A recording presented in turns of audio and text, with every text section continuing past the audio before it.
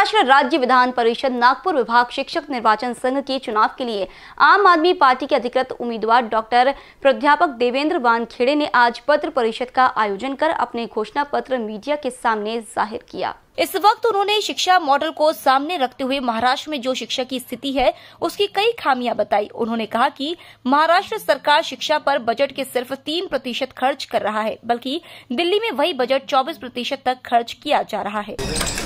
अभी चुनाव होने जा रहा है और 22 प्रत्यक्ष इस चुनाव में खड़े हैं। मुझे ऐसा लगता है कि कोई अच्छा ईमानदार व्यक्ति, अच्छी जिनके पास नीति है, जिन लोगों ने कुछ करके दिखाया है, जिस प्रकार से आम आदमी पार्टी ने पूरे देश को एक शिक्षा का मॉडल दिया है।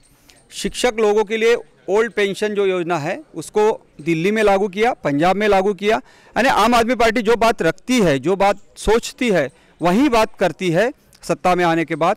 तो इधर भी हम लोग जो अभी चुनाव में, चुनाव के मैदान में है, हमें उम्मीद है कि हम लोग चुन के आने के बाद जो शिक्षक लोगों की समस्या है, शिक्षण संस्था की समस्या है, पूरी शिक्षा व्यवस्था ठीक करने की जो बात है, इसको पूरे ज़ोर शोर से हम सदन के अंदर रखेंगे और सरकार भी इसके ऊपर सोचने के लिए मजबूर होगी। ऐसी व्यवस्था करके हम लोग शिक्षक बांधवों की जो समस्या है, उसको सॉल्व करने का बिल्कुल 100 परसेंट प्रयास करेंगे। जिसका नतीजा आप खुद रोज पेपर के माध्यम से देख रहे हैं।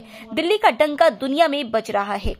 कैमरा पर्सन राजकुमार मोहर के साथ क्षितिजा देशमुख बीसीएन न्यूज़ नागपुर।